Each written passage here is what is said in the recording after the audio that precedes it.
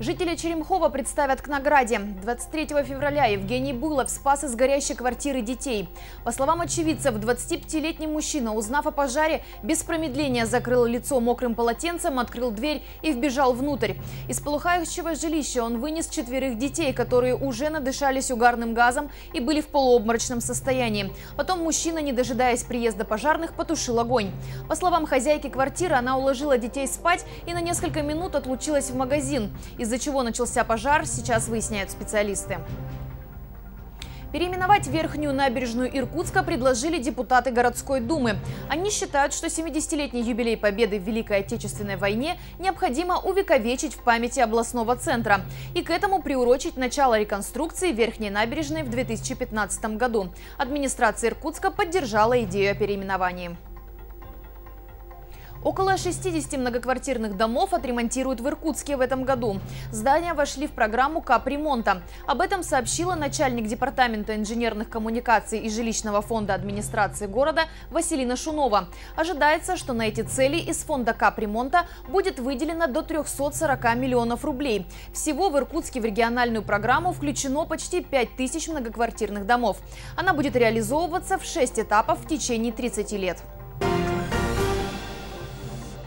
Граждане Китайской Народной Республики стали чаще обращаться в миграционную службу Иркутской области за получением вида на жительство. Об этом сообщает Телеинформ.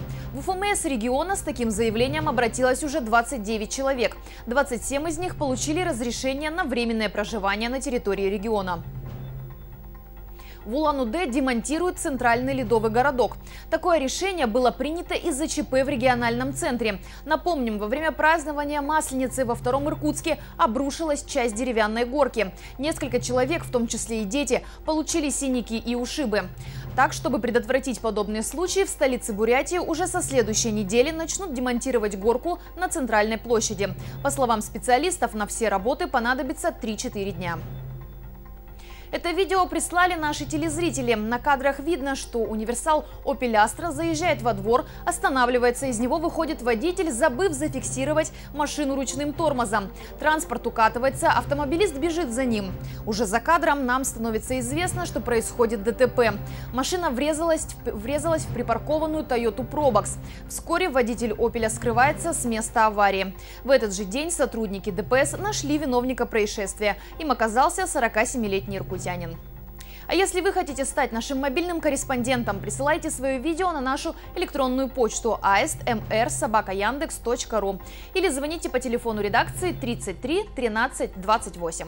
Увидимся в 16.00.